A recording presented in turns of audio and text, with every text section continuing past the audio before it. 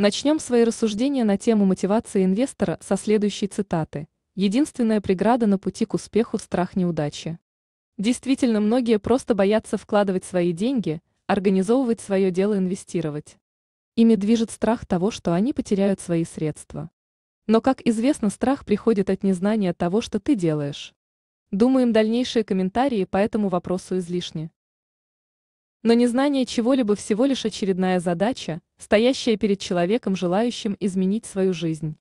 И все, что нужно для ее решения, это образование, вернее самообразование, ибо самообразование намного эффективнее, на мой взгляд, потому что человек сам ищет и изучает интересующую его информацию.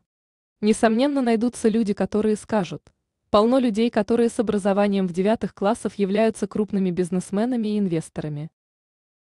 Да не скроем, среди знакомых редакций портала «Бизнес-заработок» тоже есть такие люди. Мы восхищаемся ими, потому что они люди разумные и волевые, их не испугал в свое время страх неудачи, который останавливает многих и тормозит человеческий прогресс. Но не только эти качества позволили им пробиться наверх. Как сказал Генри Форд. «Я сам могу многого не знать, но я окружаю себя специалистами, готовыми ответить на любой вопрос в своей сфере – это второй вариант решения той же задачи. Следующий момент – это цель. Очень важно, для чего делается тот или иной поступок. И при этом деньги, на мой взгляд, не могут быть целью. Ведь делать деньги ради денег даже звучит немного странно. У каждого человека должна быть цель, к которой он стремится, а деньги лишь являются средством достижения этой цели. Деньги – это средство платежа, некая мера свободы, но не более, ведь богатство еще никого и никогда не сделало счастливым. А счастье, пожалуй, есть то, к чему мы все так стремимся. К деньгам так и нужно относиться, никогда не трепетать над ними.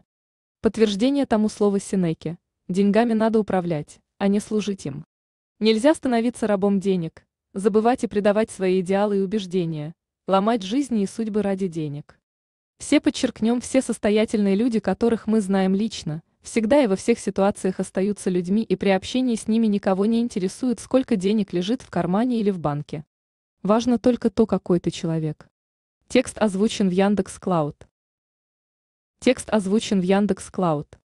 Все успешные бизнесмены и инвесторы ежедневно возвращаются в зону боевых действий на бирже, деловых центрах рынках.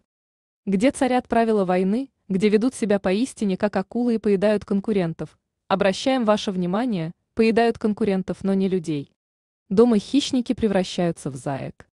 Мы считаем, что это правильный подход к жизни, к которому нужно стремиться и брать пример, но сразу же оговоримся, брать пример не означает творить себе кумира или авторитета.